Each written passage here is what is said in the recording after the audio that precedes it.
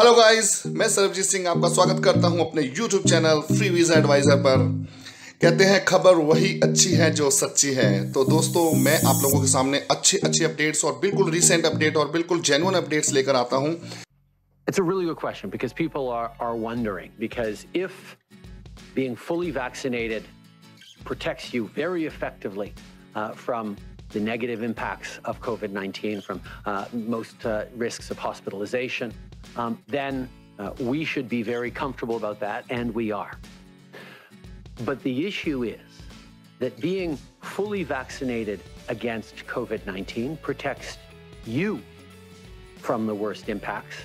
It does not necessarily protect you from transmitting COVID 19, even though you're fully vaccinated, to someone who is partially or not vaccinated.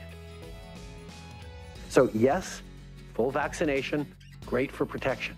But if you're returning to a community that is only partially or low, low levels of vaccinations, that is a risk to public health. That's why our decision to reopen step by step and gradually is the right and responsible one. As of July 5th, those who have a right to enter into Canada now, returning permanent residents or citizens or people with exceptions, will be able to skip the quarantine if they're fully vaccinated.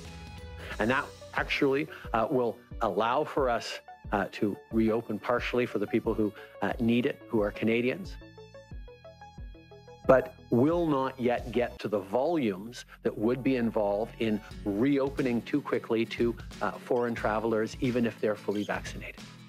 We hope to get there soon, and we will be able to get there even sooner if Canadians continue to be so enthusiastic about getting those two doses that they need. We're already up above 20% in terms of fully, full vaccinations. In the coming weeks, we expect that to continue to rise rapidly, and that will allow us to get to a place where we can accept larger volumes of people coming into this country.